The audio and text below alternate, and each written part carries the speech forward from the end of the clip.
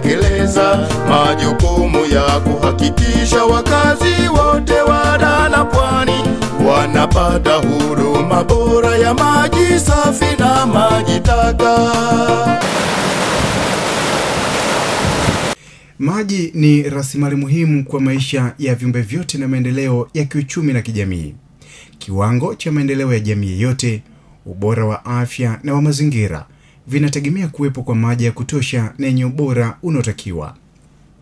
Wingi wa maji yanayofaa kwa matumizi mbalimbali una kikomo.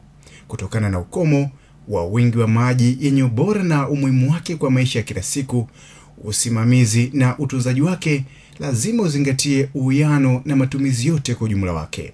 Mkoa wa Dar es Salaam unapata maji kutoka mito na visima kwa matumizi ya nyumbani, viwanda, bustani, mifugo, usafi na mazingira.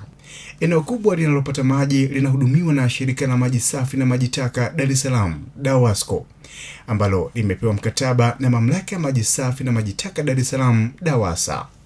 Leo hii tunaangazia shughuli za uzalishaji maji katika mtambo wa Ruvu Juu uliopo eneo la Mlandizi mkoani Pwani, kilomita 60 kutoka jiji la Dar es Salaam, tukiangazia hatua kwa hatua, tukianza na maji yanapotoka mtoni, hatua za usafirishaji, matibabu pamoja na usafirishaji wake hadi kumfikia mtumiaji wa mwisho.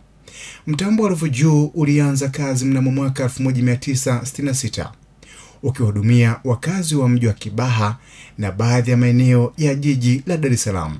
Ukawa na uwezo wa kuzalisha lita milioni 390 au mita za ujazo elfu tisini kwa siku, huku ukipata maji kutoka mto Ruvu unaoanzia katika milima ya Uruguru mkoani Morogoro.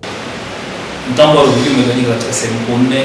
Sehemu ya kwanza ni raw water intake ambao tunachukulia maji hapo pale tunaita low lift au water pumping station.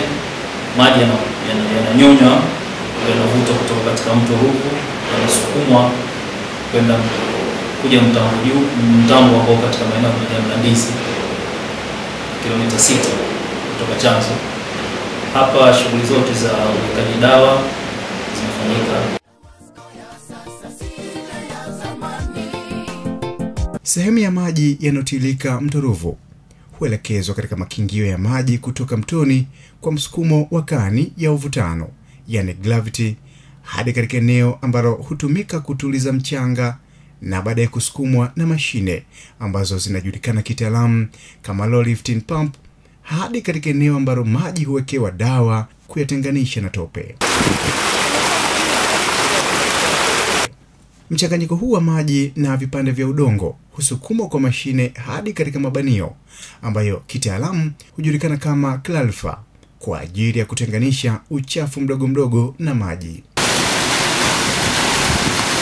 Maji hupita katika chujio kwa ajili ya kuchuja uchafu uliosalia mara baada ya kupatiwa matibabu na baadaye huingia katika eneo ambalo linajulikana kama ngome, eneo ambalo matibabu ya mwisho katika mtambo wa uzalishaji wa maji hufanyika kwa kuwekewa dawa aina ya chlorine kabla ya kusafirishwa kwenda kwa mtumiaji wa mwisho. Yanapotoka mtoni kuja na hilo bomba, yakifika hapa, hii ni sehemu ya hatua ya kwanza, tunaita injection unit. Ni sehemu ambayo tunaingizia dawa za kwanza kwenye maji.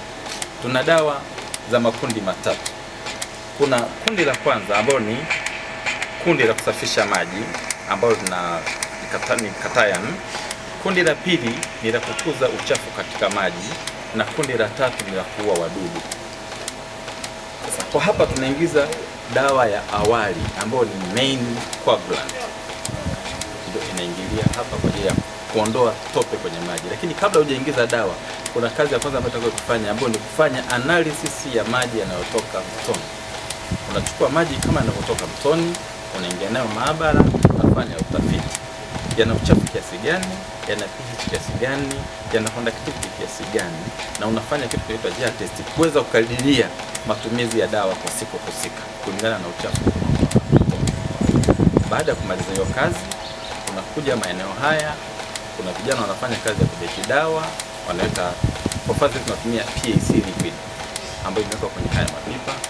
Unakuja kuset injector, hizi hapa zote ni injector ambazo kazi yake ni zinaingiza viwango tofauti. dawa inaingia kwa masaa 24 yote. Kadri unavyosikia inapiga ni kwamba dawa inazidi kwenda. Kwa mfano leo tunatabidi tena time ya 320 pH ni ya 6.8 inject kulingana na kazi niliyoifanya maabara ja test inaonyesha kwamba kila unit, kila lita moja ya maji inayokuja inahitaji 0.25 cc ya dawa. Kwa hiyo hapa niko set hii pump, nilipoweka hii pump ya speed ya 20 na kisha kwamba kila maji yanayopita hapa yanapata wastani wa hiyo dawa.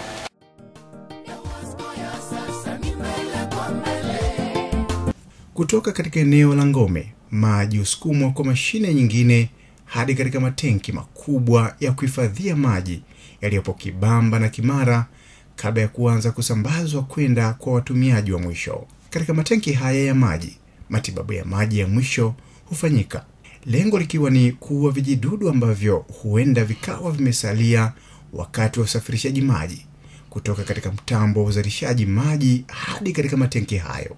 Kwa hiyo maji yanapoanza kuingia ila asubuhi yanaachiliwa yakiwa na kolini ya kutosha, yanaenda mjini kuelekea maeneo ya Tabata, Ubungo, Msewe yote mpaka Mandela Road kwenda mpaka Buguruni, maji yanatokea. Tiba nyingine inayofanywa kwa maji yanayotoka mtoni kabla ya kumfikia mtumiaji wa mwisho ni uwekaji wa dawa ya kuua vijidudu vinavyosababisha magonjwa kwa wanadamu, na shughuli hii ya tiba inasimamiwa na vitengo vya maabara. Kwa maji yetu yanakuwa yameshazalishwa yakiwa safi na salama, lakini nini kinatuhakikishia kwamba maji yetu ni safi na salama? Ni ile quality monitoring, yani ku- ku- ku- kujaribu kuangalia kila baada ya muda, je, ubora wa maji yetu uko kwenye kiwango kile tunachotaka ama uko ndani ya vile viwango vya kimataifa na kima- na kitaifa. Kwa hiyo tuna maabara hapa ambayo tunachukua samples za maji yote, maji yanayotoka mtoni ambayo ni raw water na maji ambayo tayari yameshasafishwa ambayo ni treated water, ambayo tuna tuna kuna vitu tunaviangaliaga. Kuna samples ambazo tunazichukua kila saa, kuna mtu anatakiwa achukue kila saa. Kuna samples ambazo tunachukua kwa ajili ya kufanya vipimo fulani kwa ajili ya, ya, ya, ya, ya, ya, ya kila wiki. Kuna vile vya mwezi na kuna vile nusu mwaka, robo mwaka na mwaka mzima. Kwa hiyo hizo ni, ni, ni nani tu tunaangalia physical na chemical properties za maji yetu. Basi hii ndio maabara yetu ndogo ya hapa mm. na analysis zinafanyika hapa ni physical na chemical. Bakto tunachukua sample tunapeleka makao makuu, na kuna wakati TBS wao wanakuja anachukua, kuna wakati yeye anakuja anachukua, kuna wakati kemia mkuu anakuja anachukua, lakini hapa tunafanya physical na chemical. Hii mashine iliyoko hapa mbele ni inaitwa test machine kazi yake kubwa ni kukadiria kiwango cha matumizi ya dawa ya kusafishia maji.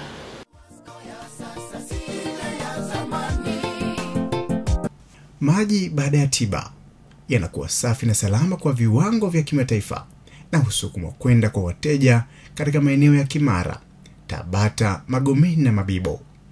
Maeneo mengine yanayopata huduma ya maji yanayozalishwa kutoka mtambo wa Ruvu Juu ni pamoja na maeneo ya Mlandizi, Kibaha mkoani Pwani, maeneo yaliyo karibu na bomba kuu yaliyoko kipenyo cha kilomita tano. Kama ilivyo katika mtambo wa uzalishaji maji wa Ruvu Chini, mtambo wa Ruvu Juu pia uko katika mradi mkubwa wa upanuzi unaofadhiliwa na serikali ya India. Mradi unatarajiwa kusaidia upatikanaji wa huduma maji katika maeneo ya Mlandizi, maeneo ya Kibamba, maeneo ya Mbezi, maeneo ya Kimara, maeneo ya mji wa Kibara, maeneo ya Kimara, maeneo ya Tabata, Kimanga, Kisukuru mpaka maeneo ya Gongo la Mboto baada ya ulazaji wa mabomba na mradi wa mabomba madogo utakapokamilika. Kwa hiyo vile vile itapunguza mgao wa, wa maji kutoka masaa manane kwa siku mpaka masaa kumi na sita. Kwa hiyo upatikanaji wa maji utaongezeka kutoka masaa manane kwa siku mpaka masaa kumi na sita mpaka ishirini na nne kwa baadhi ya maeneo husika kulingana na siku za mgao jinsi tutakavyokuwa, sababu bado tuna changamoto kubwa ya idadi ya watu kuwa kubwa kuliko upatikanaji wa maji katika